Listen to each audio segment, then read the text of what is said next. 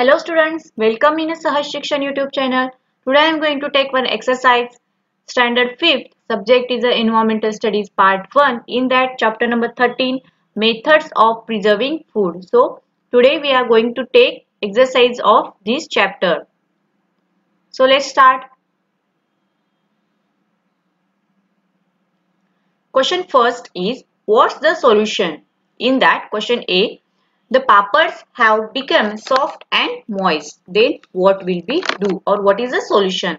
The answer is papad which have been soft and moist should be kept in sun for drying purpose. Okay, this is a one of the preserving method. Drying, me drying method means removal of water content from the matter or food. Papads when kept in sun for drying for a few days will become more crisp again. Okay, so this is a solution. Then question B, fruits like mangoes, amlas, guavas and vegetables like peas, onions, tomatoes, fenugreek are needed all year around. They are available in a plenty only in a certain regions. Then what is the solution? So here is the answer. In order to use all year around, different methods of food preservations are used in order to preserve fruits, and vegetables. So first one is mangoes. Mangoes can be preserved by making their squash preparation. Peas can be peeled from pods and preserved by keeping them in a refrigerator for a long time. Onions can be dried or fried, can kept for a longer time of time, period of time. Tomatoes can be preserved by making tomato puree, squash or sauce. So this is a solution. Then question number 2. Use your brain power. In that semolina means shevaya do not get spoiled for a very long time but kheer made from them spoils easily. Why is this so?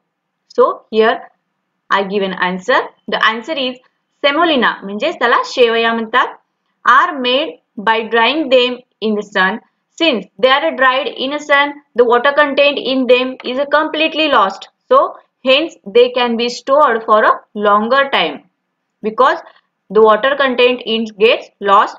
On the other hand, the kheer is made up by using milk and milk products. Okay, so milk product is easily uh, spoil quickly. So, using milk and milk products. It is a highly perishable product, hence kheer gets spoiled quickly.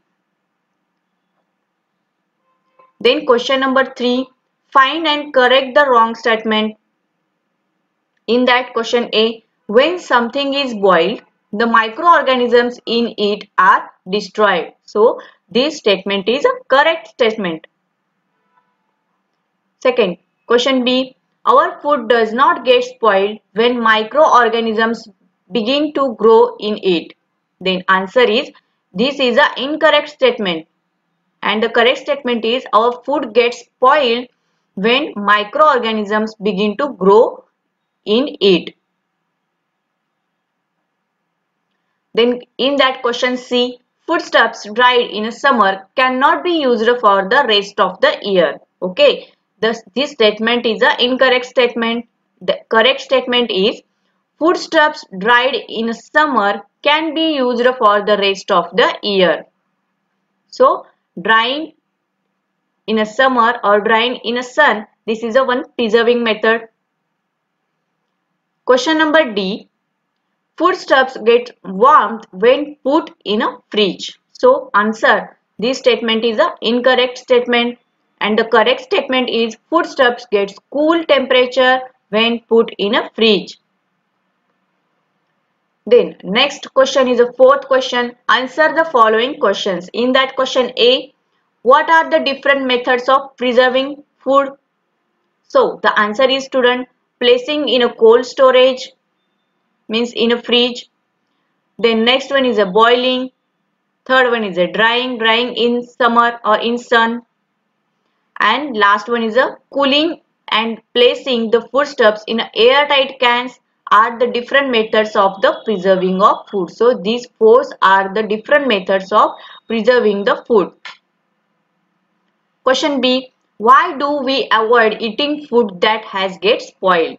So the answer is student we should avoid eating spoiled food because it can be cause stomach ache, diarrhea, vomiting due to the food poisoning. Okay. So by eating spoiled food we suffer from stomach ache, diarrhea, vomiting. So to avoid this, we have to avoiding to eating food which has been spoiled.